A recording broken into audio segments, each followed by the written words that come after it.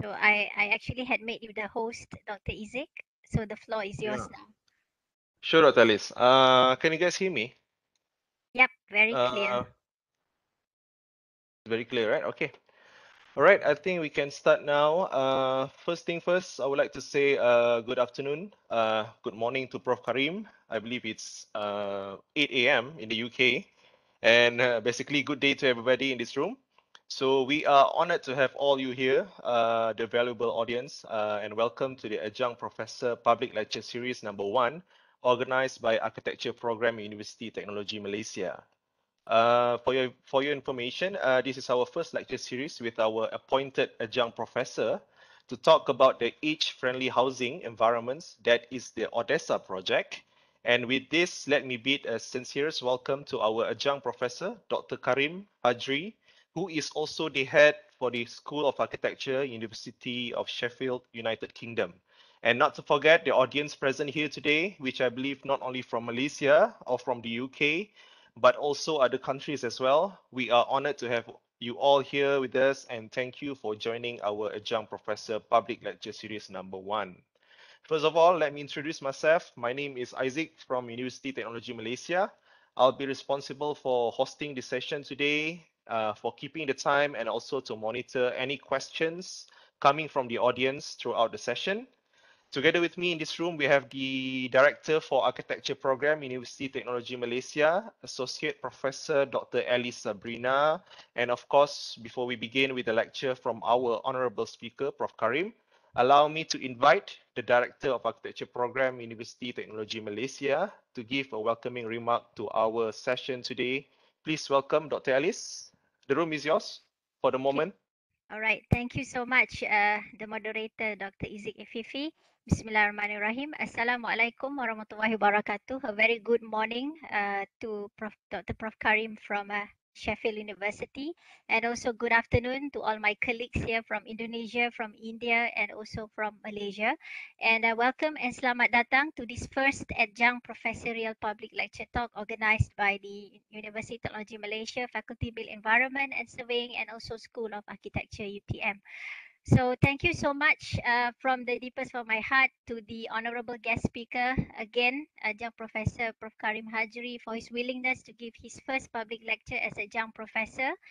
And also, as you can see that uh, we are actually honored because uh, Prof. Karim had uh, been uh, accepting our invitation and uh, delighted actually to share his interests and niche area focusing on the issue of housing across the globe. And for today's topic, I think it is a very interesting topic because he'll be focusing on the ODESSA project that will look into the um, elderly housing. And we are not talking about the aging society, and this is one of the most big challenge faced by most countries in the world nowadays, especially the developed and the uh, well-developed states, talking about the issue of housings and human settlements. So I hope that today's intellectual discourse will actually start become a starting point, uh, not only to spark the discourse on housing and human settlements in the 21st century, but uh, give the best option and approaches and also proposition to academician to give the best ideas and input and how to improve the quality and of life and especially on the way how we live in. So as Winston Churchill always mentioned, we shape our buildings and thereafter they shape us. So the mother art is architecture and without an architecture of our own, we have no soul of our own civilization. And as you can see that all every great architect is necessarily like a great poet. He must be a great original interpreter of his time, his day, and also his age. So today's discourse with Sheffield University and with uh, University of Technology Malaysia is actually a stepping stone to build a collaborative partnership and to build a new networking in terms of research and academic between both schools and institutions. And also UTM is especially is looking into the future ahead to establish a research center also in focusing on housing and human settlements. And so therefore I hope that all the input that we gain today can be an impetus that actually sparks the change for the future. So thank you again so much to Prof. Dr. Karim Hadjri from Sheffield University. And also I wish today everyone the very best and I'm looking forward for our collaboration with Sheffield University in the future. Thank you so much. So I pass it back to you, the moderator, Dr. Iziq. All right, thank you very much, Dr. Alice, for the welcoming remark. Uh, all right, for the viewers of this lecture series, uh, I will attach the link to attendance form in the chat box towards the end of the session. And please be noted to fill in the required details along with your email to get your e-certificate after you fill it in. Also need to be noted that the time allocated for our session today is basically within two hours, and that include a Q&A session with our speaker today. And therefore, the audience are free to ask their queries in the chat box at the bottom right corner of the WebEx window throughout the session, or the audience can simply unmute their mic and ask their questions directly to our speaker during the Q&A session. So without further ado, I shall welcome our honorable speaker today, Professor Dr. Karim Hadjri from the University of Sheffield, United Kingdom, with his lecture titled Aging in Place and Integrated Care, Findings from the ODESSA Project. Allow me to briefly explain what ODESSA Project is, which is to my understanding that it is an international research venture investigating current long-term care delivery models for older people to allow them to live independently for an extended period of time. And this project ran across three countries, the UK, France, and China, by identifying common features in an effective system of integrated care under different policy and social culture background. So without giving away too much, I shall give this room to our honorable speaker, Professor Dr. Karim Hadjri. Please welcome, and the room is yours, bro. Thank you, Isaac. Thank you, uh, Alice, as well, for um, a very kind introduction. Um, I'm delighted to be here, and I'm very grateful for your invitation and for your friendship. Very long, long-lasting um, partnership between our two institutions, and uh, we are going from strength to strength, and we look forward to further collaboration, uh, all aspect teaching, wider engagement. So um, I thought today maybe I'll, I'll speak about this uh, project which was completed a few just because of its uh, international significance. That we, Isaac mentioned, we, we worked across countries and so you, you imagine the challenges of, of terms of uh, cultural and language, etc. But uh, managed to do that uh, successfully. So the, the project, um, I will explain now uh, four parts. Uh, I'll talk about the introduction just so that you understand what the project is about. And is just an acronym. It's an acronym. You have so we will uh, talking about age-friendly environments, and uh, as architects, we are responsible for producing inclusive environments. And um, as part of this inclusive environment, for example, people with wheelchairs or sensory or cognitive, uh, they, we will take, take the, the, those uh, characteristics into consideration. One of them is obviously for older age. I will explain in a moment. So we looked at case studies uh, across Europe, China, Okay, and after that, uh, once once we established uh, exploratory, uh, so exploratory focus groups are help you understand the challenges, for example, uh, reach some conclusions or to inform the methodology. That was very useful for us to understand context, particularly in China. Uh, and then we did the final focus group to test the two after that, um, as part of another work package, which I will moment, we, we found scenario uh, planning for the future. Then uh, there was some impact activity maximize. Uh, now, the the project um, is an international venture. It was part of the China standing population time, of course, uh,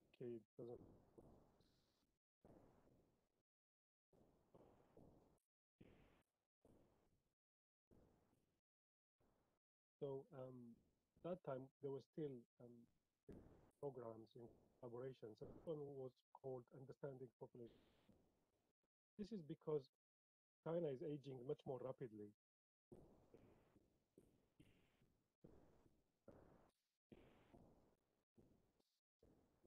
countries like Japan. Uh,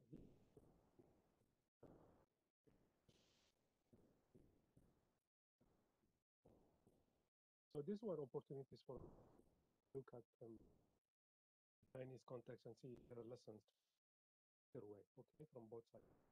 Now, this was funded by uh, two,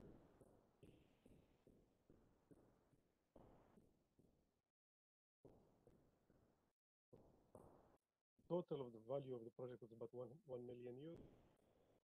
Had the largest. Uh, Uh, excuse me, bro. Uh, pardon me. Uh, I think your voice is breaking up. I'm not sure. Uh, I think it's your internet connection or your mic. Can you hear me okay now? Hello? Can you hear? Yeah, but uh, it's a bit too low. It's a bit too low, I think. Um, yeah. I think your internet is fine, right? Uh, I'm not sure whether it's the mic or the internet. I think the the internet is good, uh, but but maybe Prof Karim need to get a little bit closer to the um I think speaker. um, I think. I, yeah, Let me, let I me change uh, change the settings.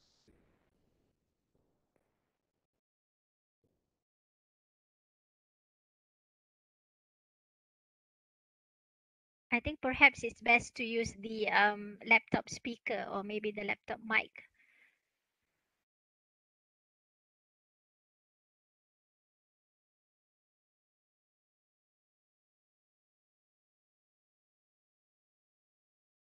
Meanwhile, Hello. Dr. Isaac, yeah, I think this is good. Yeah, it's clear now. It's, This is okay. Can you hear me okay yeah, now? yeah, Yeah, yes, yes, this it's is louder. fine. This is Alright. good. Louder. All Yeah. Brilliant. Okay. Okay. Excellent. So you can you can um, you can still see the slide is there. Yeah, Yes, the that's slide is fine. Yeah. Okay. All right. Thank you. Uh, so um, okay. So I say it was funded by three countries, and then uh, in Paris it was Dauphine University, which is a social science and health uh, uh, university, and then the Tsinghua in, in Beijing, which is one of the leading universities in China.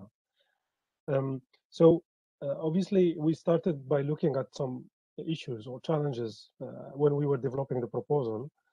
Uh, and there were uh, obviously discussions with all the partners in order to, you know, agree the, the best way forward and, and, and develop a proposal with, uh, you know, that responds to the, the current issues. So uh, across across Europe and China, of course, not just China. So uh, these are the, the five that we, we identified at the time. Obviously, there were issues with um, the increasing demand for in-house caring, um, and and uh, lots of uh, lots of people, older people, receive care at home. Uh, in the UK, this is quite standard, and uh, and, and many many countries that's increasing need. So we noticed that this is also the case in in China uh, with an, uh, dramatic increase in in this in this demand.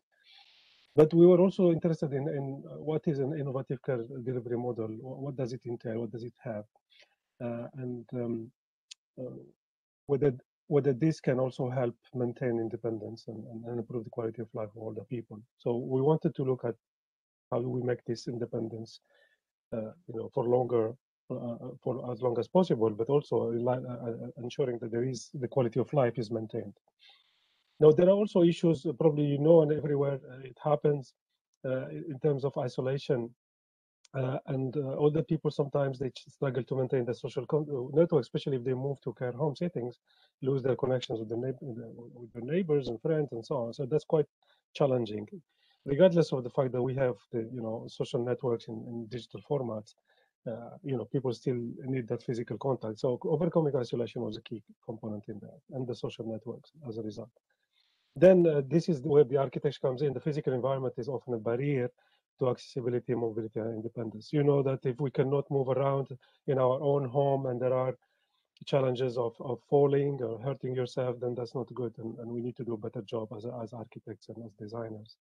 So we'll talk about that in some detail. And then uh, considering the fact that most of the housing that exists around us is actually uh, older, old, and needs retrofitting, there are really significant challenges of how to retrofit that to make it accessible and, and also affordable.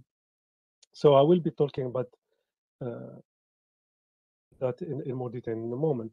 So uh, in terms of uh, the aims, and more or less you guessed now that we're talking about aging in place, what it means.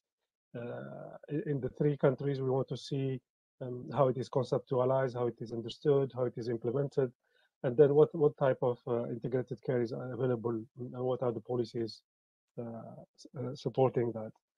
So we were looking obviously at, um, at these models and whether they have potential for um, replication, lessons to be learned and so on in terms of uh, how we can improve the care, but also the living environment for the people. So I think that's very important. We, I also had a team that looks at the financial means or models to support this, like uh, mortgages or remortgaging and, and, and, managing equity and so on. So the project objectives, um, which uh, somehow um, align with the uh, the work packages, we had six work packages. So we looked at um, at the housing needs and choices. We looked at uh, um, living arrangements. Uh, we looked at um, uh, connected communities, social care support. We looked at design, obviously, and the financial aspects, and then we developed a framework. Uh, we also looked at um, the uh, longitudinal surveys, the, the three, one, uh, the Chinese one, CHARLS, um, ELSA, in, in the UK, the English uh, longitudinal survey for uh, aging, and then there is the SHARE one in Europe. So we, we had lots of data to look at. So work package one and two, they examined uh, the three longitudinal surveys in, in great detail and did some statistical analysis. And then work package three looked at um, connected communities uh, by doing some interviews and site visits uh, to uh, selected communities to understand how people are connected, all the people are connected and how they receive care and so on. Work package four, which I, I was um, involved in heavily, it was about age-friendly environment, and then the fifth one was about finance aspect, and the last one was about developing these scenarios. So I will talk today because uh, this huge project, there's lots of data. I will talk about four and five uh, so that to give you an understanding of, uh, of, of, the project. So in terms of framework or the methodological framework here, you could see the connections between the work packages that we looked at, you know, what are the global challenges in terms of aging, uh, demographic trends, and, and that's why we, we found the information from the longitudinal studies and, uh, and previous uh, work. Um, and then we looked at um, you know housing situations of the living environments and, and, living arrangements and so on. After that, we looked into health and social care models, uh, including the aging in place scenarios, uh, the network, and so on. And then after that, we developed the financial model and the framework.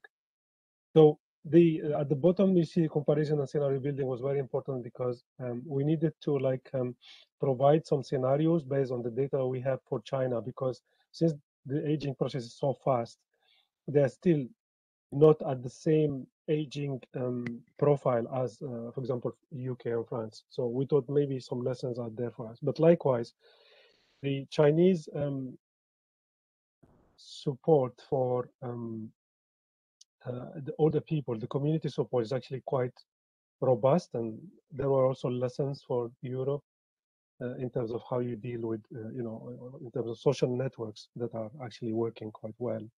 So I will talk about those two uh, yellow boxes there.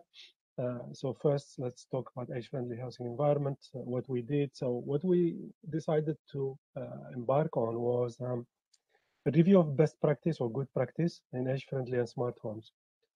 So we looked at the literature. Uh, there are things, there are places and, and, that we are aware of, that we have visited, that we have used as case studies in other in other studies. So we looked at actually UK, France, and the Netherlands uh, as as three countries where, where we selected case study. And then after that, we looked also in China. Um, China, uh, we were very interested because we saw um, that the care homes is a, is a new concept and, and it's being developed as, as a, uh, but it hasn't picked up yet compared to EU. Then uh, we wanted to see whether there are any potential um, replications or similarities or differences and what, what are they so that we can uh, inform the design alternatives. You know, so the idea was to to produce the design alternatives and guidelines for age friendly, and we did so, and I'll show you the, some illustrations later on. So in terms of methodology, so the literature review, you can see we had some uh, uh, topics uh, or themes to, to cover or to investigate, uh, like assistive technology, universal design, and so on. You can see. We also looked at dementia care, because that's also an important part of uh, you know, of looking after, uh, if you're doing, it you want an aging uh, or an age-friendly environment, you also need to look about uh, not just the mobility, you, you have to uh, respond to the challenges of sensory uh, impairment, but also cognitive impairment, and, and dementia is one of those. Um, and then we looked at uh, international good practice in this area. So the findings informed the selection of case studies uh, through this and through our networks. So after that, uh, we did some uh, focus groups, which informed the retrofitting recommendations uh, or design recommendation as a whole. And after that, we had um, several focus groups in, in the UK, France, and China in order to reach uh, the recommendations for the work package five and six. So to guide the case studies, we uh, we looked at four um, four, four say um, criteria there. Uh, we wanted uh, because this is good about good practice. You want to see how is it working? Is it, is it you know is it positive and what are the challenges?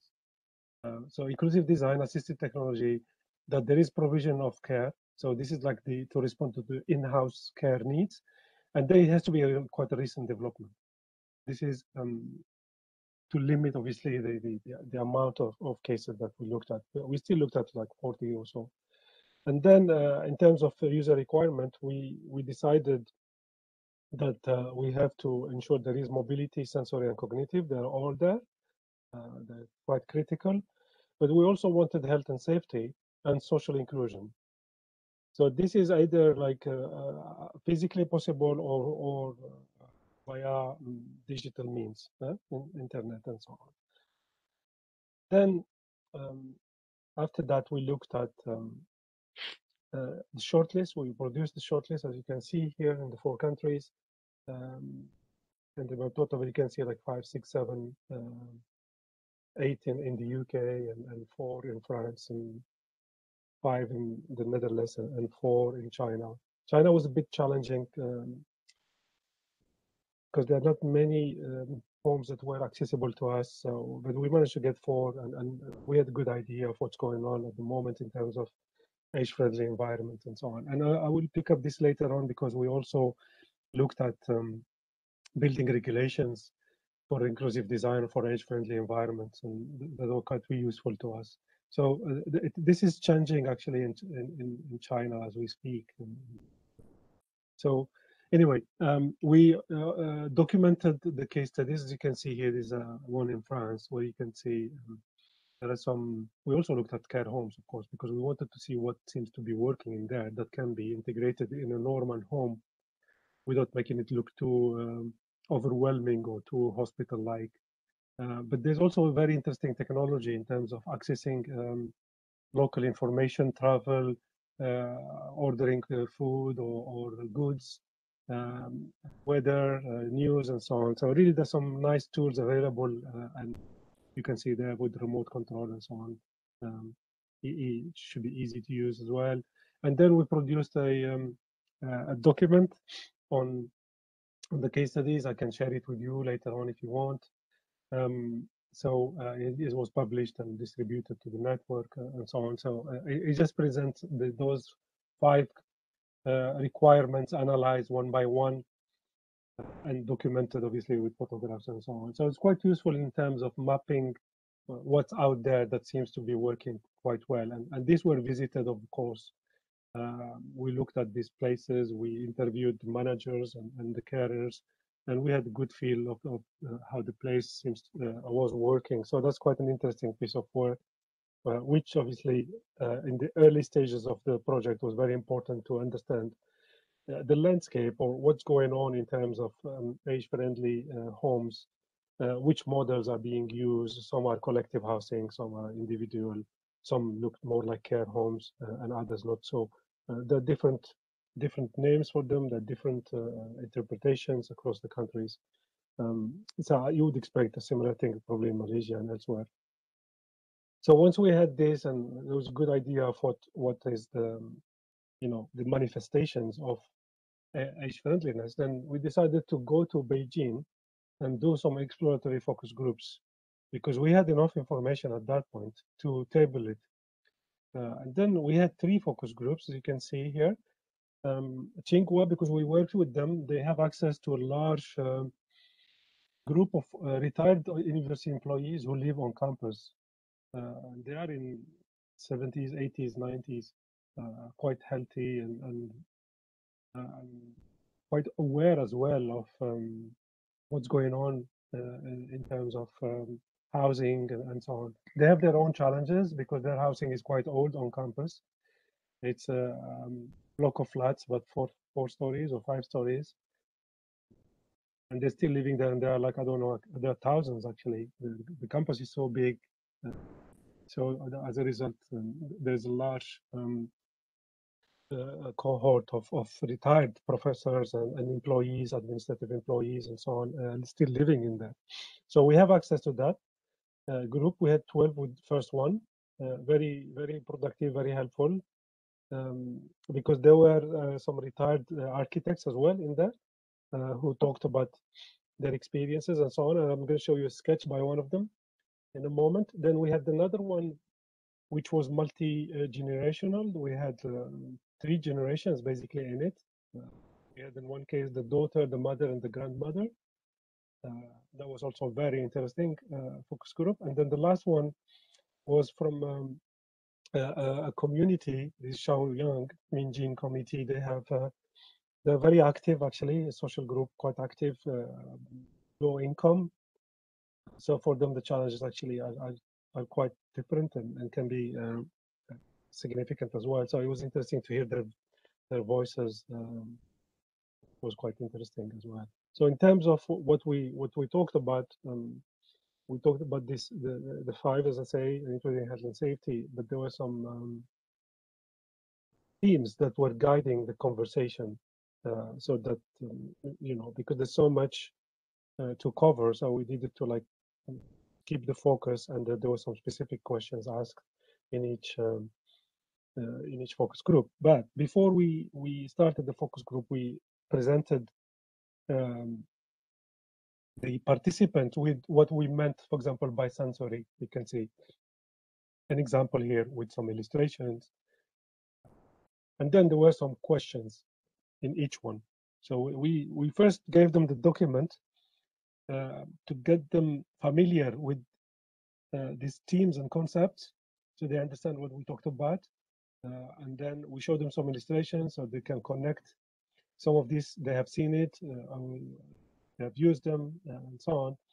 And then after that, we ask them the questions. And you can see here, this is one of the professors, retired professor. I think he was at the time 81.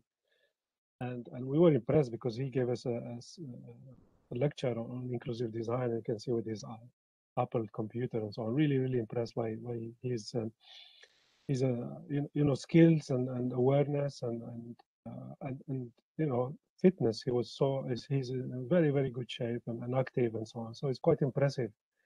Um, and then this is what, the second one, which was multi-generational in in, a, in another another venue. So we asked them these following questions. Um, so it's quite personal because we wanted to tell us about their own experiences in, in dealing with the challenges of aging. So, for example, have they made any adaptation or modification to their uh, home because of mobility or accessibility and so on? Um, uh, if there are any sensory health or, or issues as well, uh, or they have concerns because some do have concerns, even though they're healthy, they still worry about because they have heard or seen uh, other people experiencing such uh, impairment. We wanted to know about independence, uh, assistive technology as well, very important, and it's a booming market in China and elsewhere, as you, you would expect, um, etc. So assistive technology was also a key component because we know that this can support us, the architects or the designers, in you know, in gathering information, but also in, in preventing uh, accidents uh, for health and safety, for making uh, you know connections, staying in touch, and so on. So it's quite important. When it needs to be acknowledged, and, and millions have been spent in this uh, across the globe. So the technology is there. Uh, it just needs to be understood and made uh, usable. So we um, we this is similar. So we talked about aging in place um, as well in terms as a, a thematic uh, connection Uh, and then there was some sub-team that emerged from this. So, for example, uh, there, were issues with the design or, or with the space or with with wanting to stay at home and so on. And, and for the cultural, the multi-generational living, which is quite common in China in particular. Um, but there were other issues in terms of, you know, fear of death and, and the challenges of urban rural or the differences between the two, the ethical issues and so on. So these are just uh, um, in a nutshell, a, a, few of the items that emerged or the themes that emerged. And then after that, uh, we also try to look at what what were the um, some of the barriers really, and uh, or, or, what is how do, how do they conceptualize aging in place? These are some of the of the key messages that we, we see. So, you know, fear of abandonment is also seen as actually, or or fear of loneliness seems to be like when aging in place is lacking, or, or when there is no aging in place and people are abandoned basically and lonely. Um, so it's interesting to see the, the perspective of, of um, older people in China from, you know, what, what do they mean? How do they understand aging in place? And also what are the barriers to aging in place? So, for example, yeah, and this is quite quite critical, and it's uh, it's actually uh, universal. If you are unable to modify your home or install these devices to support your uh, living there, then that's it. You need to move. You need to move somewhere else that has these modifications or, or these systems in place, and it is designed accordingly. So that's that's why I'm saying the challenges of retrofitting can be quite huge and complicated because there are lots of structures where, for example, there's no lift. What are you going to do? So sometimes it's possible to install lift from the outside, sometimes it's not. Um, there's also the um, this medical support or care care um, from, from the health uh, support perspective. Uh, lots of people wanted to be at home. Um, and then there's the affordability issues, obviously, um, to uh, access the lift or to make the uh, the home more um, more more accessible in terms of mobility in particular. You know, and then some of the technology, particularly in Chinese um, health and care system, is not yet supported. So even the emergency call button is still a challenge, apparently. Anyway, so that's some of the barriers that were highlighted in these exploratory things. One of the participants in the first group, he he drew this quite quickly. So he drew the one on the left, and we translated it there on the right. And he said, "This is my ideal apartment." Very simple. He said, I, have, I just need four spaces. And you can see here uh, the balcony, for example, which is important for fun. Uh, but I mean, they put fun, but it means like for enjoyment. Um, but there is a room there on the right which has a healthcare room, medical care rehabilitation. So because they need physiotherapy, for example, uh, they need to exercise at some point, uh, or they receive a carer and they have to mean so they need you have to start thinking that actually this um, if you want aging in place then you need to have a room that is capable of um, you know providing this function. So it could be multifunctional. It could be a room that quickly turns into a space that you know that healthcare can take place uh, or medical care can take place so that's just a small hint of where, um, as architect, we need to focus our um, design intentions in order to answer the need of, you know, aging, because it's not the same for, you know, people who are healthy, younger, and so on, as an older person that need probably they move less and they need a safer environment to move around and so on. So that's that's quite uh, illuminating, I think. And then when we look at all the three um, focus groups, we did this, um, uh, what we call content analysis. The content analysis in this software called NVivo, it can tell you um, about the themes, the relationship between the themes, uh, and then you could also produce this like barriers and enablers.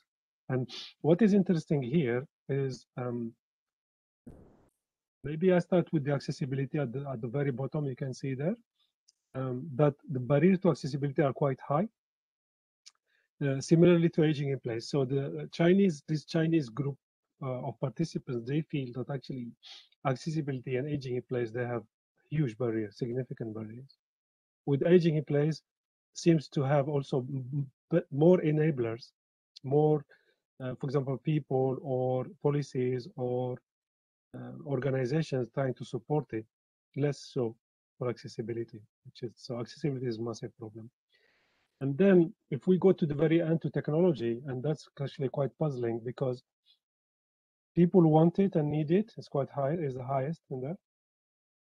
Uh, and then yet it the challenges and barriers are massive. And but also the enablers are there. Why? Because technology is available and it's quite cheap. Yeah. But to, to install it in a house becomes quite complicated and expensive. So there are not processes still in place that make it happen, but people want want it. So I think technology here and assistive technology in particular is really interesting area of further research um, in, in the case of China in particular. So I, I, I will move quickly now to um, the thematic analysis. Uh, the thematic analysis, obviously, uh, we, uh, as I said, we talked about accessibility, sensory, and cognitive, and technology, and we wanted to see what are the key themes connected to this. For example, for accessibility, people talked a lot about lift, about ramps, about staircases, you know, ergonomics, the anti-slip floors, the bathrooms, and so on. So those are the key components which are actually we are not surprised to see them but in the case of um, uh, China, they have a lot of block of flats, walk of flats with no lift. So uh, if an older person lives on the top floor, then it becomes an incredible challenge to go down every day. And as a result, they become isolated. They are stuck unless they live on the ground floor. So um, some of them, they put money together uh, and then they, they get the company to uh, build a lift from the outside, but that's not everybody is able to do it. It's quite expensive. And sometimes even when it's done, there are still some split level floors, which means there will be still staircases to negotiate. So there's, it's, it's, it's not a complete so, solution. That's why designing new needs to take into consideration the accessibility issues. So in terms of sensory, um, you can see this uh, as I progress now to cognitive, it gets a little bit more complicated. Um, there is, for example, China, they talk a lot about air pollution, quality. Um, it seems a recurring topic and it's quite um, significant problem. Um, and the noise and um, the, the uh, thermal comfort, uh, so on. So there are quite a number of issues that people were um, were worried about, including uh, issues that emerge as a result of living with uh, different generations. So there are also tensions there. So in terms of the cognitive, uh, I mentioned this uh, earlier, um, but um, the uh, isolation, dementia, and so on, you can see they talked about dementia reluctantly, though. I will say why in a moment. They talk about emotions, uh, about sleep, um, about psychological issues, but also the sense of belonging and familiarity, uh, which are quite important. Um, yeah, but then likewise, um, loneliness is there and the feel of abandonment are all like uh, serious issues uh, that this, you know older people are, are quite worried about uh, naturally. I mean, we all do. And then finally, the technology as, as the most complex one uh, generated lots of discussion um, because it's uh, it has lots of potential. Uh, we can see, for example, the smartphones. Uh, it's basically a revolution in terms of what it does now. It's incredible. But there are also lots of other devices that were mentioned here, like the pill, pill dispenser and, and smart watches and you know the telehealth. So things they, they know about, they've been using, uh, but others that they think they're actually quite complicated and not 3D yet. Uh, so I think it's a really interesting area for exploration um, in terms of which ones actually can can work quite quickly and cheaply, and with others need further work. In terms of like uh, comments, um, because we talked about um, you know um, robots uh, providing um, care support, and, and then they say, of course, I mean, or or uh, you know remote um, remote support from from a care uh, organization, they say they don't think technology can replace emotion. They say emotion in care is more important. So that contact with the human, uh, between humans is so so important, and, and they think um, uh, they believe in that and they, they should, it should continue. I mean, you can have technology on the sideline supporting this, but still that uh, human contact is uh, so so important. Um, there were also lots of issues with um, uh, three generations living together, not just internal space. This one mentioned space, but there were also noise and um, privacy uh, and things like that. So um, it's quite common, and I think multi-generational living is, is actually uh, common across the, the globe. I'm sure in Malaysia and other places there are too even in the UK here, we are seeing multi-generational living increasing, uh, increasing between actually grand, even grandparents and, and, grandchildren. So it's quite interesting. And then uh, finally, we felt that dementia was almost like um, an unwanted um, topic for conversation. Is it's they were avoiding it. They didn't want to talk about it. It's quite a scary term, and uh, just because it's a it's a it's a terrible disease. It's devastating, uh, and and that's why uh, probably they're not really uh, ready to talk about it. So hence the, this uh, you know feeling uncomfortable about. It. So just to move on quickly, after we um, we finished that um, and with the case studies and so on, we produced um, this user requirement about 119 we developed uh, that will help us uh, produce this design framework for mainstream. We call it mainstream housing. And then uh, we had um, options for retrofitting because we understand that um, the, the housing stock is so huge and most of it is not really accessible in terms of uh, mobility and so on. So it needs retrofitting. So what retrofitting it needs, for example, for mobility or for sensory or, or for cognitive, etc. So we wanted to understand that. And then what technology will support, for example, uh, mobility or sensory and so on. Then we produced the spreadsheets with uh, associated um, illustrations that you can see here. Uh, and then uh, this this spreadsheet we produced them for the subsequent focus groups because we were going to do focus groups that were more um, more in depth, not exploratory. The, this focus group, you table something, you discuss it, you get feedback, and then uh, and then you you adjust framework accordingly. This was pages and pages, of course, of that. Uh, and we had them done for mainstream and for uh, retrofitting, uh, produced them in, in English and in French. So we did that um, here because we couldn't go back to China, but uh, we did one in in the UK where uh, it was very strange, but we found the care home with Hong Kong Chinese in it who are in their 80s, 90s, who came uh, 50 or so, 60 years ago to work in the UK and remained here. They're living together as a small community. So we we took uh, we thought, okay, that would be an excellent idea to show something to a, a, new group. So it was like really interesting conversation we had with them and, and a feedback we received with them in terms of the challenges here in the UK experiencing, you know, all sorts of um, limitations and, and etc. So we um, we produced uh, the results here. As you can see, there was some like Likert scale um, values as well, but also some uh, comments uh, that were quite important to us. Uh, and then uh, just to summarize the finding quickly here, uh, for for age-friendly environments, and so there were there were important themes that emerged. Of course, the wheelchair accessibility, the ramp, that's quite critical, and the walk-in shower. Walk-in shower is actually very important to uh, avoid uh, falls and so on. The, the, bathroom, in particular, can be quite um, quite quite dangerous. I cannot look at the, Iziq. I cannot at the question now. I will look at them later. Yeah, after I finish. Um, accessible emergency call systems. Uh, that was a, a very um, um, discussed topic in, in, China in particular because they seem to be quite problematic.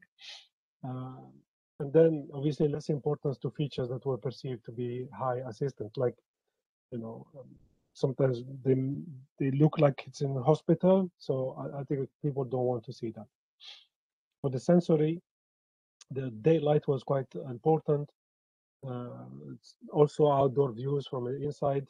They they're good for for uh, your well-being, psychology, and so on. It's really important. Uh, and then uh, the, the, technology or home automation for health and safety, or, or for support in, in, general. Then for the cognitive, um, they say uh, they talked a lot about uh, memory and orientation. So I think um, when designing, architects need to be aware of that. Like uh, if you produce a symmetrical design where it's difficult to know which in which side you are, imagine an older person with some cognitive or neurodivergent uh, impairment. They, they're not going to find their way. So you will just complicate it. So you need to think about how you produce a design that is um, quite distinctive. Where in, in each place you know exactly where where where you, where you are by you know using features, color schemes, and so on. Uh, and then, um, like uh, probably you have seen in many places, there is this memorabilia. People use their own photographs and own objects, know, there to identify places and have them also with uh, with wayfinding. So that's also important, very important uh, for for the participants. And then in terms of group discussion, we talked about uh, homes for life. At, because when you say aging, you say, okay, why don't we just design homes for life? Homes that they don't need to be changed, but it's difficult actually. Um, can, can, for example, housing evolve with people as we age? Uh, can we predict how we're going to live in 50 years time? I mean, just look at the pandemic two years ago, working from home, very few people were doing it. Now you had billions stuck at home, and lots of people didn't have the the space uh, and the means to work effectively from home. So maybe from now on, we should take that into consideration as well. Like because working from home, we continue for a while for sure. But just an example, of course. Um, so uh, this this concept of uh, of home fitted for old age, uh, maybe not the solution, but something that is universal, that is forward looking. That, that possibly that's the best solution. I think one way of talking about that is, is this future proofing, you know? You don't want to make it too complex, uh, but you need to try to understand or try to um, you know identify what the future proofing might look like. So that could be a really good exercise in terms of designing homes. Now with the technology um, you know all these social networks and so on how how future home is going to look like but also how a low cost future home is going to look like because it's not about putting this uh, fancy expensive smart home gadgets and there you go. No, that's not what I'm talking about. I'm talking about something low cost, accessible to the masses, but it is future proofed, it is safe, it has the basic technology that it needs, and so on. Most for health and safety, for social connections and the like. So we produce for the sake of the exercise an accessible typical apartment. Why? Because most of the apartment in China, in China most of the housing is actually apartments. Um, obviously, the um, the, sizes vary, but we, we, we use the universal design uh, approaches here to produce that. This is uh, just for illustration purposes. We wanted to see how much we can fit, but also we wanted to bring this um, technology with the design. As you can see here, the numbers, sure whether you can read, like number one is a telephone with large buttons, number two is the remote control, with different colors. Number three, the smoke detectors. Number four, the smoke alarms. Then infrared monitoring system. Five, six, daylight sensors.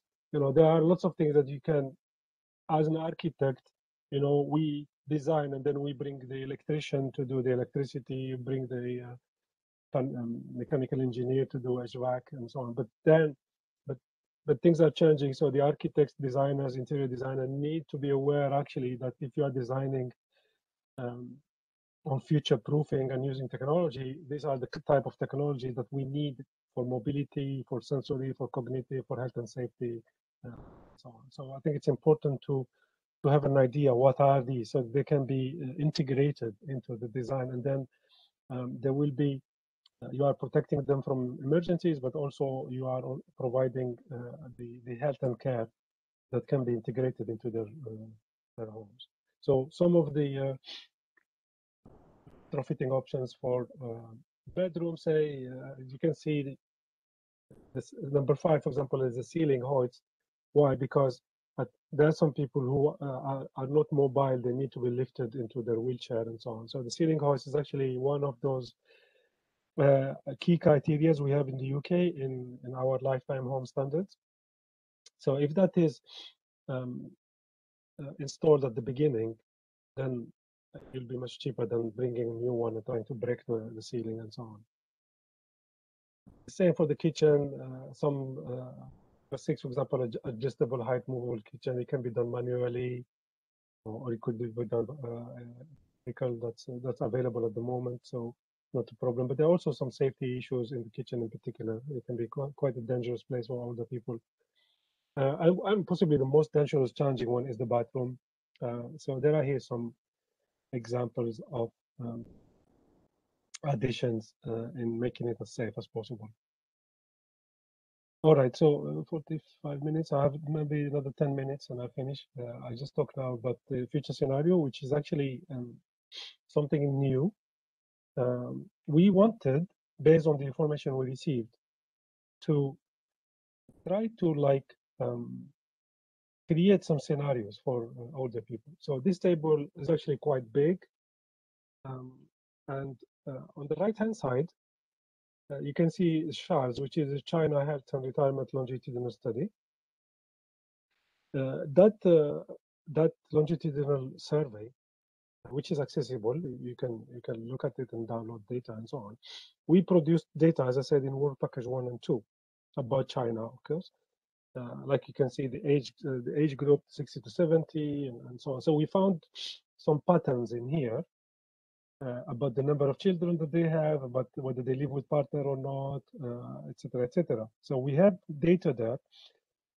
That data we use it to um, generate some list of problems or keywords, keyword problem, and then identify some existing support.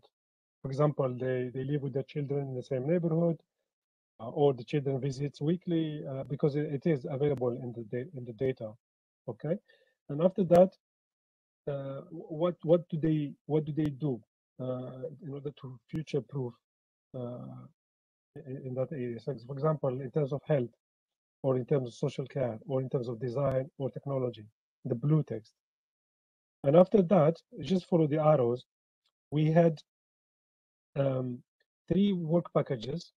One, number three about health and social care and, and, and social networks. The four, which is the one I was talking about, design technology uh, for age-friendly environment.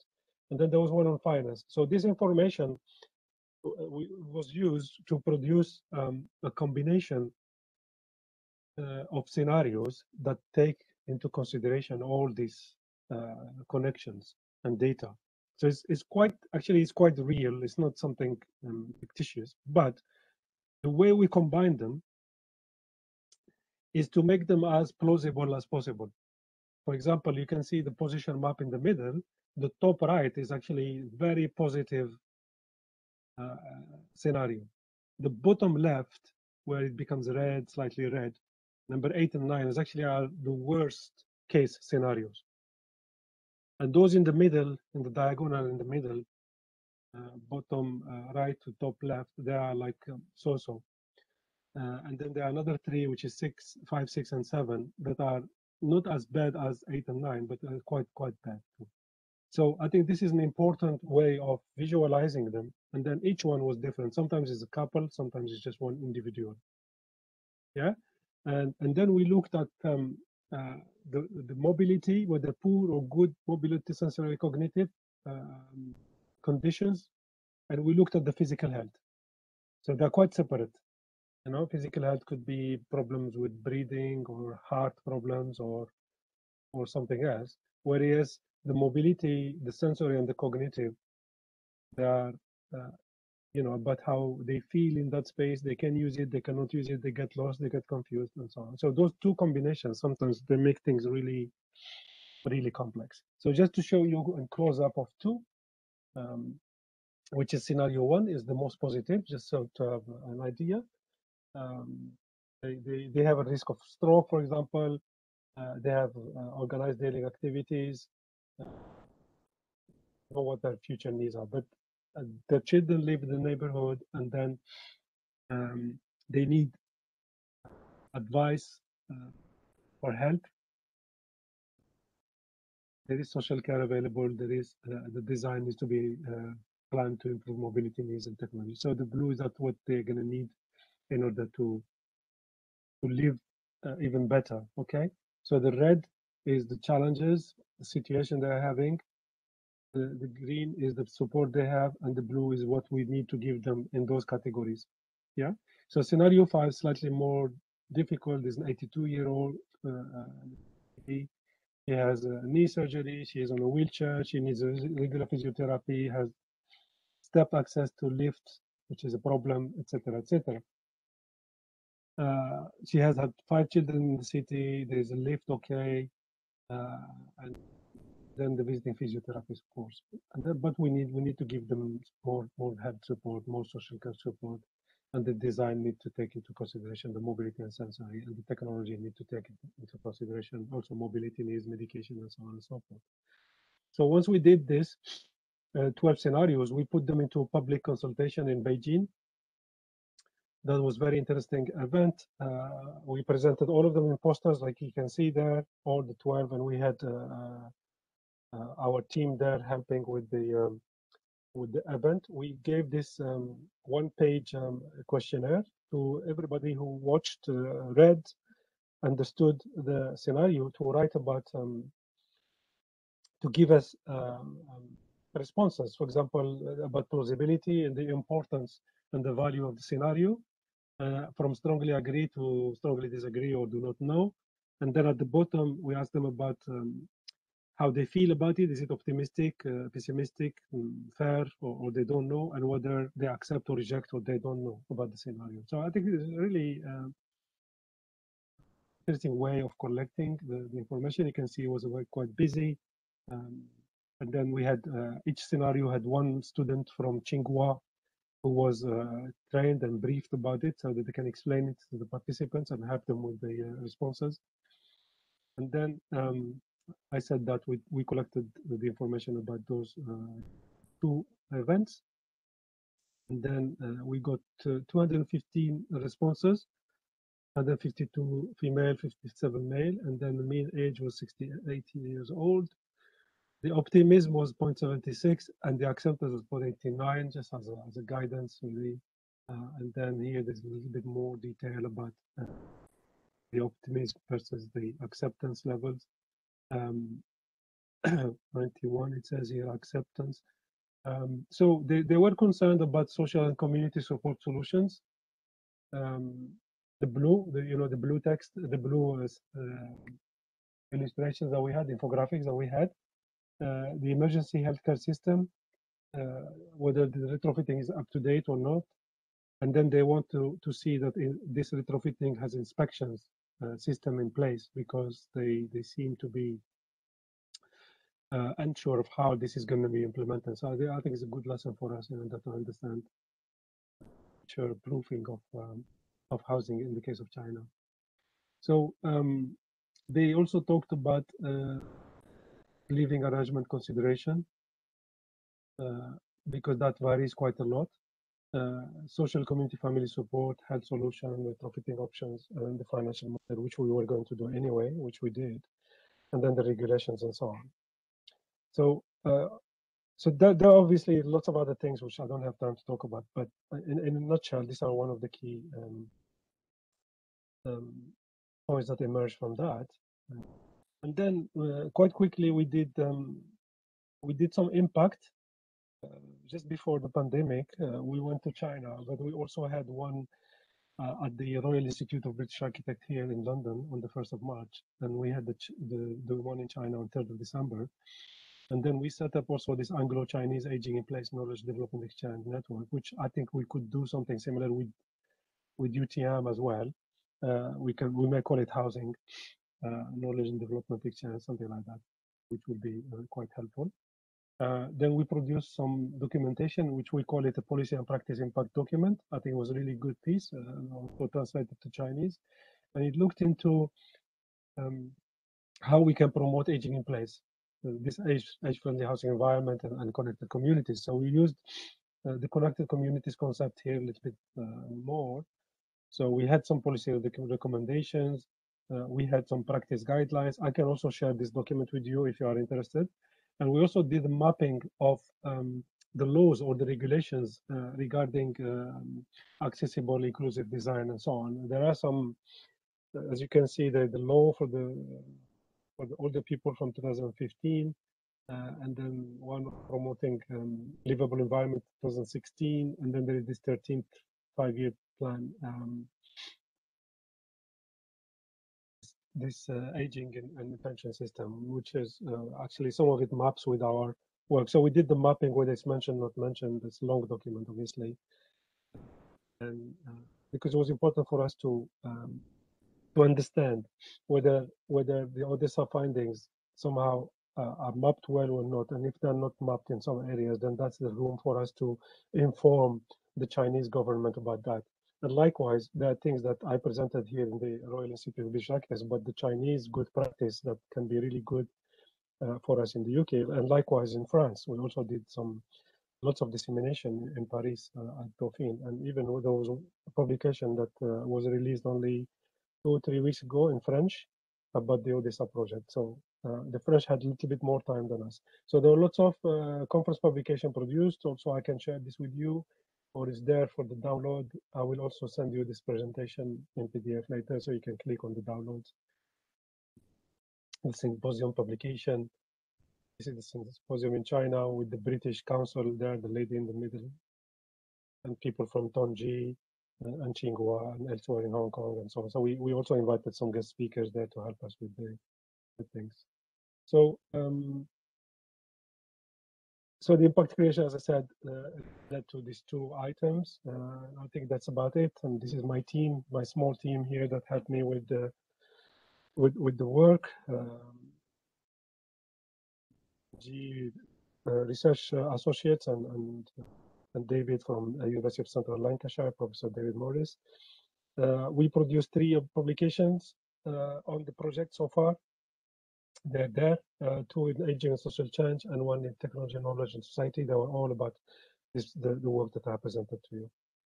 So that's that's that 57 uh, 58 minutes. Thank you so much. I hope you find this useful and I'll be happy to answer any questions you might have. Uh, I think I stopped sharing. Is that okay? Or I leave it just in case I need to show again. I leave it then.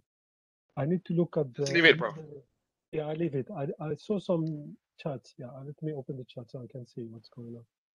Okay. Um, it's okay. Uh, I will read the question later, Prof. Karim. Yeah, yeah, whatever right. you feel. All right. so, yes.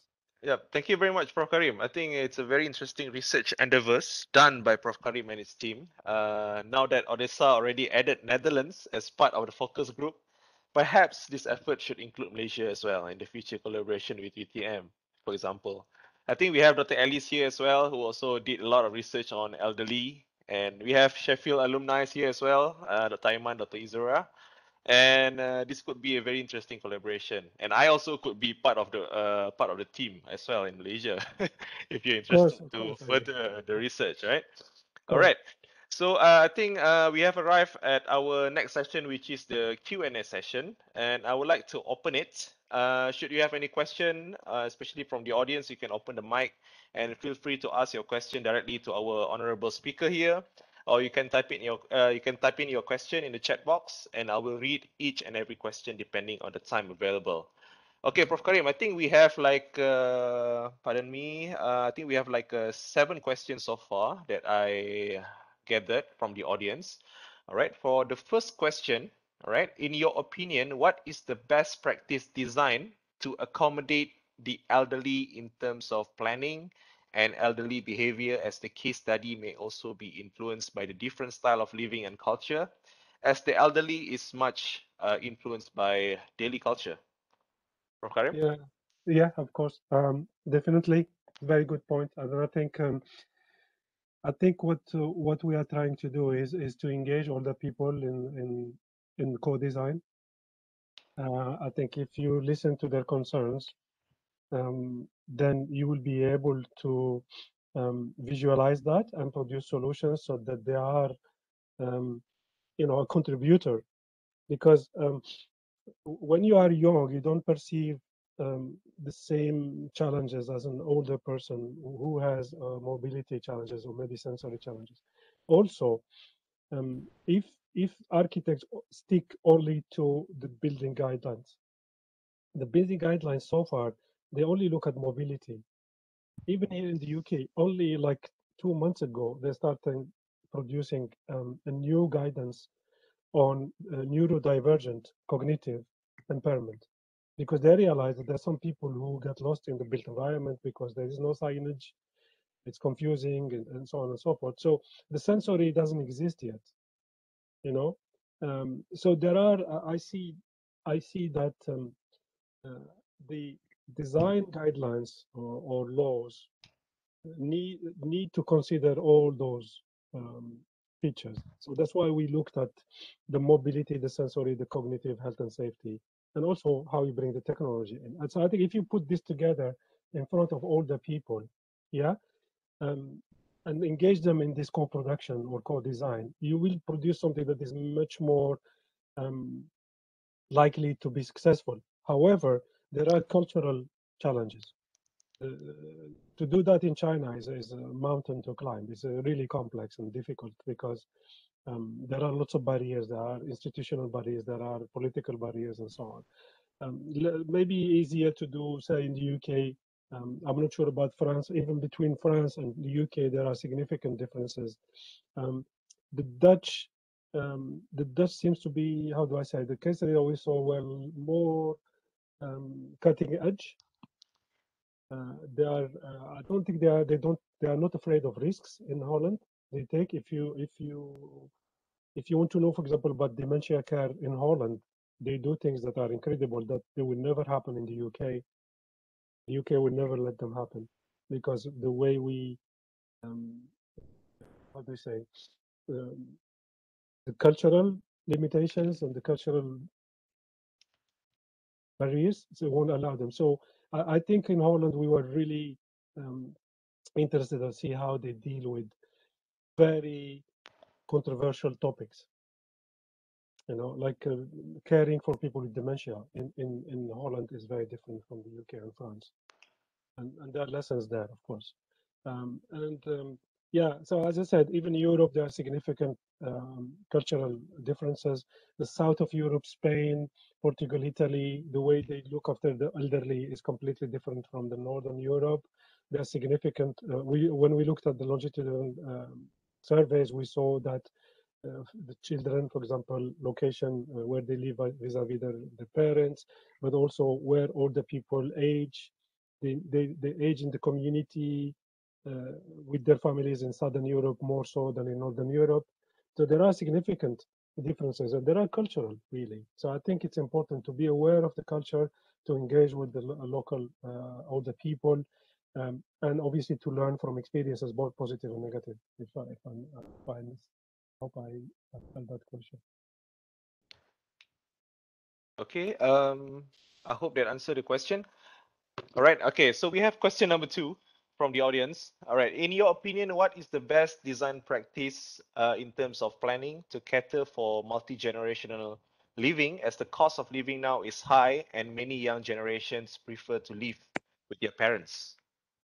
Yeah, yeah, yeah, yeah. Thank you. That's also an excellent question. Um, there was one case study we visited in northern uh, in Holland, and it was in the city called Groningen or Groningen, and they had um, they had the, it was designed and built as a tower block uh, with with multi-generational living in, in mind and um, it had uh, also a care home in the base in, in the ground floor it has a nursery um, and it has a flats for families or for uh, for single uh, couples and so on so um, it had different things but the only thing that um, we felt seemed to be like interesting is the fact that they co-located the care home with the nursery.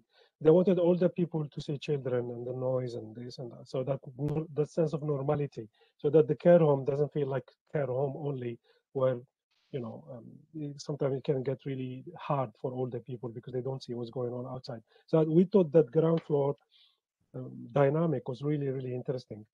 Um, I am not so sure about um, like uh, the the living in the apartment. Uh, um, three generation living together uh, or two generation living together. It depends. Here in the UK, because of um, the economics, we are seeing that lots of grandparents are living with their grandchildren, not with children, with their grandchildren, because they move, uh, you know, parents moved on, but the grandchildren want to come back and they say, oh, can, can we live together? And they are, so they are company for the grandparents, you know, they're with them, they help them and so on. And the other ones, they have a roof over uh, their heads because otherwise it's difficult to find accommodation. So there are some economic challenges that are how say supporting this multi-generation living. In in Southern Europe, it happens maybe because of the culture. You know, you stick you stay with your parents until late until you get married and move on. And even sometimes people get married and stay with their parents, maybe because the space is there and so on. So there are significant cultural differences between um, between the various you know parts of the world. Uh, China in particular seems to be, you know, they have this multi-generational living uh, almost across the board and and um, and it, it comes with its own challenges. Obviously if there are poor and a small apartment it's, uh, it's quite quite uh, quite difficult. So i don't have i don't have best practice in, in a sense uh, apart from what i've we have seen in in holland uh, the rest is ha happening organically. It's just people moving with each other uh, and, and you know looking at opportunities whether they can do it or not yeah, but uh, just to add, we have uh, in the Master of Architecture, the part two, we have one studio. If you are interested, if this particular person is interested, I can put them in touch with Satwinder Samra, who runs multi-generational housing studio. And I think they have done some really interesting work because they go to the communities and they ask uh, lots of questions and then they produce some really interesting design. And sometimes the combination of functions in, in the housing um, that they produce is, is the one that motivates this intergenerational engagement. So that's that's another possibility. Okay, thank you, Prof. Karim. Okay, another question. Question from the audience number three. In the case of Beijing, uh, a very dense city, uh, some of the respondents are living in the limited space in an apartment with three generations living together. In your opinion, do you think that the elderly should be driven out of the city probably live in the outskirts or even rural and just leave the younger generations living in the city? No, no way, no way. No, of course not. Because if you remove them and, and push them out, it's uh, you are uprooting them. And the criticism that uh, we we received from older people in, in Beijing is that um, uh, they don't want to go to care homes, the, especially the new care homes. They are all in the outskirts. Uh, we visited some of them and they were quite empty. Uh, simply because people don't want to move to the outskirts, far, far from their network. Uh, so imagine these people have been living in those parts of Beijing for a long time. They have their own friends and, and this, and they go for the walks and they meet in the parks and they exercise in the local uh, square and, and, parks and so on. So uh, uh, moving them, that's not the solution, but um, helping them to stay there by retrofitting their environment and their housing to enable them to live as, as long as possible in there. That's the, that's the way forward. And I have a PhD student who is about to finish study on aging in place uh, in, in Nanjing. And, and she's looking at all this. She, she, you know, she looked at housing typologies. She looked at uh, interviewed people, uh, older people. What are the design challenges and so on. So there's some similarities, a little bit of, uh, or uh, uh, with, with this age aging in place, how we can enable it because that's aging in place is actually the best way forward, not just for the people, but also for governments and, and institutions, because everybody wins if we can we can implement. Thank you, Prof. Karim, for the answer. I hope you answered the question. Uh, another question, question number four. Uh, the rising cost of living, limited options chronic health problems and inaccessibility caused by decreased mobility are just some of the housing problems facing the elderly population. What is the best design practice for the low and modest income seniors uh, are having trouble finding safe housing they can afford, but that can still meet their changing physical needs? Yeah, okay. Uh, that's a difficult question. Um, the um, if we talk about the Chinese uh, context, the Chinese older generation uh, is used to this uh, social housing that was provided by the government. Even, for example, Tsinghua University, which is one of the biggest universities in the world, has, I think, if I remember well, about 8,000 retired employees living on campus. Imagine there's a city in the campus that is only for the retired employees because they cannot kick them out. It's their right. That apartment is their right until they die. So they cannot. But the new generation, they have to go and buy their apartment. So Tsinghua and the government is not providing them with this. So you you save your money or whatever and then get your your apartment uh, and that's it. That's your problem. But the older generation, that was the expectation, the same expectation they have for health and, and social care. They say, why do I have to pay for it? It needs to be provided by the government. So everything in their mentality, because they grew up like that, they think it should be that way. And things have changed. I mean, China, you have to pay, and it's quite expensive. Yeah. So, um, low income I mean, there is housing. Uh, if you look when the property market uh, opened in China, there is all sorts of cost. There is the low cost, middle cost, there's high cost. It depends on how much you can afford. And, and obviously, there is a government provided um, cheap housing as well for some se section of the population. I'm not sure exactly how it is allocated, but to produce low cost uh, housing for seniors, um, I think you need to take uh, into consideration the, the building regulations in the particular country we're looking at. Here, if we, if we, if you, in the UK, if you are going to build low cost housing, you still have to follow uh, what we call Part M building regulations, which is about accessibility. You have to do it by law, otherwise you will not be, uh, you will not receive planning permission, and, and you will have problems. So, so whatever you do, low cost, middle cost, high cost, it has to be accessible to um, not just older people, to everybody, because there are people who are young, but they have mobility issues. They are on a wheelchair and so on. So we need to take care of that.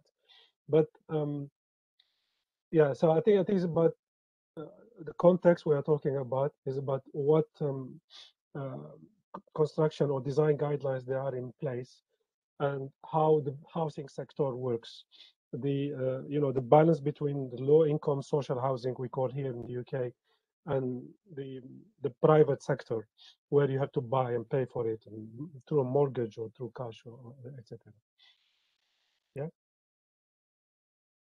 Okay thank you prof. Karim. Another question question number five. The term fitted for old age sounded too broad to be understood and probably too early to tell due to changing perceptions of the elderly for example, the preferences of the elderly in 2021 is different than those of in the future, say 2050s. Is there some some kind of spectrum or criteria that can further explain the notion of a house that fitted for old age? Yeah, that's excellent question. Yeah, I think I said earlier that um, if you just take uh, into consideration the pandemic, what it has done to us in two years, I mean, working from home became a revolution.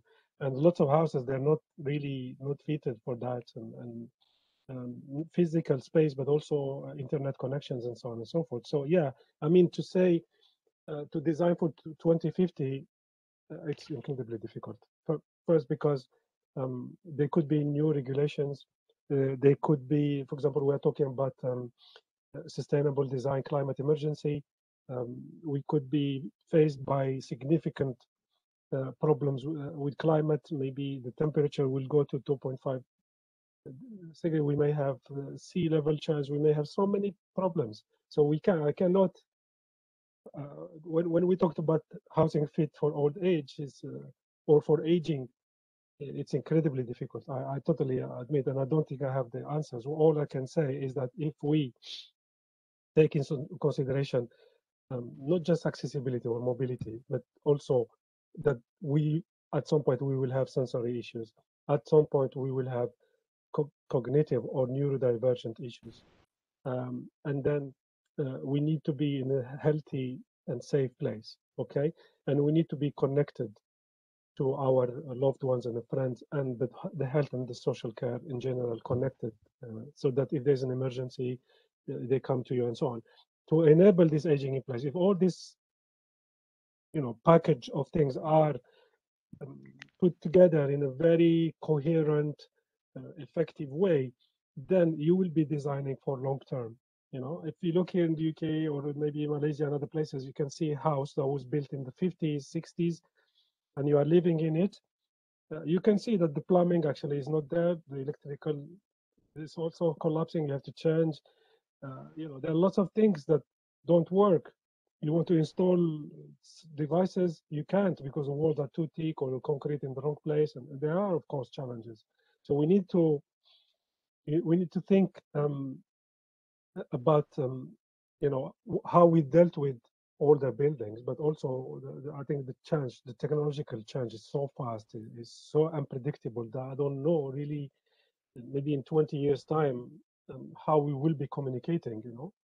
Um, look at this, this only a few years ago, we were struggling to have um, online meetings, more than five, six people, used to crash and stuff like that. So now we are having hundreds. I have meeting with 500 people at some point with the school. So really, it, it is it is changing, but all we can do, as I say, is just combine those five criteria uh, and be creative about that. That's all I can say, really. Otherwise, it's very difficult, almost honestly. all right, Prof. Karim. Okay, uh, we have uh, last two questions uh, that I gathered so far. Uh, in your opinion, is it suitable for the elderly to live in high-rise housing apartments? If there is no choice, how to design an apartment that can cater for fire safety for the elderly? You know, I, yeah, I think high-rise is not a problem. I mean, there are um, there are lots of people, older people living in high-rise. Uh, there are lifts and, and, it's safe and uh, comfortable, no problem. We uh, we are doing um, a project with Thailand Bangkok and Sart University, and we're looking at actually uh, low low income uh, housing settlement uh, near the port, and those people they want to be evicted. They, they, want to evict them to remove them from there and put them in high rise. The problem is these people never lived in a high rise. They lived on the ground floor all their lives. Not only that, they have um, like shops and stands, they sell food and, and all sorts, which means um, their housing is their livelihood. So their housing is their job. So if you take them from there and stick them on floor 20, you kill them. You basically kill them. Uh, there will be no livelihood, no income. Uh, they don't. They don't know. Maybe they have never been in a lift. Uh, so imagine that. So there are situations where high rise is no, no, right? because it doesn't fit the way of life of these people. But there are others who grew up in, in walk-up, uh, like the cases we had in, in China, in four or five story apartment blocks, who, if you move them to high rise and there are uh, good communication uh, and uh, circulation, I don't think it's going to be a problem because we have we have case studies that we see that were high rise and, and people seem to be okay and they have open space, uh, outside the, the tower blocks and so on, and they seem to be okay with that. But obviously, high rise has its own challenges. You know, um, there's less likelihood of meeting your neighbors, and uh, there's the density issues and, and potentially noise and other things. So, I think people like, I would say, low rise, high density, low middle rise. Uh, even in my teaching, that's what I encourage you know, low, middle rise, high density, beautifully done. Uh, that can be the way forward. But those towers, they're just crazy. Really, I don't think it's the best way forward. Okay, Prof. Karim, thank you for the answer. Uh, last question that I gathered, uh, question number seven, the inclusion of technology and healthcare spaces within a house could make the cost of living to rise significantly. Do you think that in your suggestion for policy, the inclusion of these spaces and technology would further widen the gap between the rich and the poor especially in a big city like Beijing? Yeah, I would say yes and no. Yeah, yes, um, because if you start implementing it across the board, it is very expensive and it needs the infrastructure. Just the internet for the whole city is a nightmare situation for any any country. So imagine, I don't know, 20 million or so. So there is a government provided, uh, I would say, scheme to uh, allow for basic um, basic infrastructure to be installed, obviously, like emergency call button and things like that. Uh, there are the rest is driven by by the private sector. The technology um, is getting cheaper and cheaper. Really, it's becoming very affordable. Like the smartphone, for example, smartphone 10, 15 years ago, who had smartphone? Very few people. Now everybody has a smartphone. Even in the poorest of poorest countries, they have smartphones. Okay. Not only that, um, because of the mobile network, there is no need for. Uh, I don't know who has landline. Who uses landline now? Very few people. Landline all of a sudden is like, you know, so. There are um, cheap alternatives now to uh, being connected you know. Uh, so the infrastructure um, can, is not as challenging as it used to be when you know when we had the wired the wired one. So there is that, and there are schemes uh, by government to uh, install this this technology, you know. But I'm not talking about you know those sophisticated smart homes that you see in magazines and programs or TV because not that we are like the images I showed. These are the basic minimum requirements for health and safety and connectivity. If we manage to do that, uh, and these are uh, included in policy and practice guidelines, so that architects, when they're designing, they say, actually, I need to provide connection here, I need to provide safety buttons here, I need to do this. So that's it, it becomes mainstream. Like the antenna, you know, the TV antenna is the best example. Almost all homes, when they are built, they have the TV antenna. So so they're going to have the internet uh, connection they're going to have the safety button connection and others so it can be done as long as it is like you say here um, suggestion for policy and, and, practice when i say practice is building standard guidance it's clearly um, put that it's not just about the building it's about also this technology to enhance uh, you know the livability and, and uh, produce uh, this health and safety um, protection and so on so that's how i see it hopefully um, if we all do our bit, maybe it will become easier as we progress. Thank you, Prof. Karim. Um, is there a further question? Uh, any question that um, the audience still want to ask Prof. Karim here? Our speaker.